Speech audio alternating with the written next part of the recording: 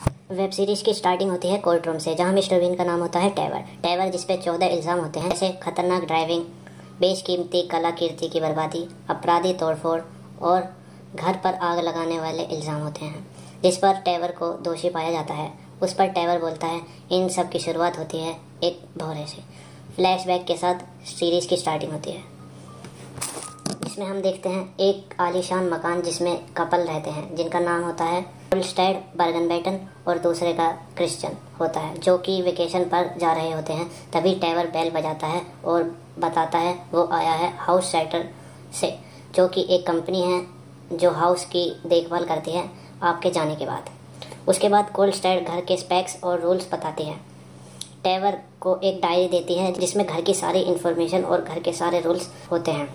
का घर पूरा टेक्नोलॉजी से भरा हुआ है, जिसमें सब कुछ ऑटोमेटिक है और सेंसर से चलती है। दरवाजों पर पासवर्ड्स हैं, जिसमें बुक से लेकर कार तक सब लग्जरी आइटम है।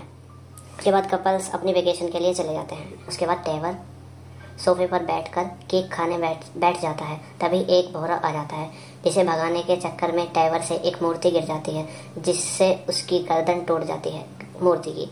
उसे जोड़ने के लिए टैवर गम ढूंढता है और ढूंढते हुए कपकेक जो कि एक डॉगी है, उसके रूम में चला जाता है।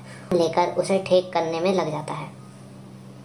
उसके बाद टैवर खाना बनाने में लग जाता है और बुक जिसमें सारी इन्फॉर्मेशन थी, उसे गैस पर रख देता है और गलती से दूसरी गैस ऑन कर देता है, जिस पर बुक रखी थी।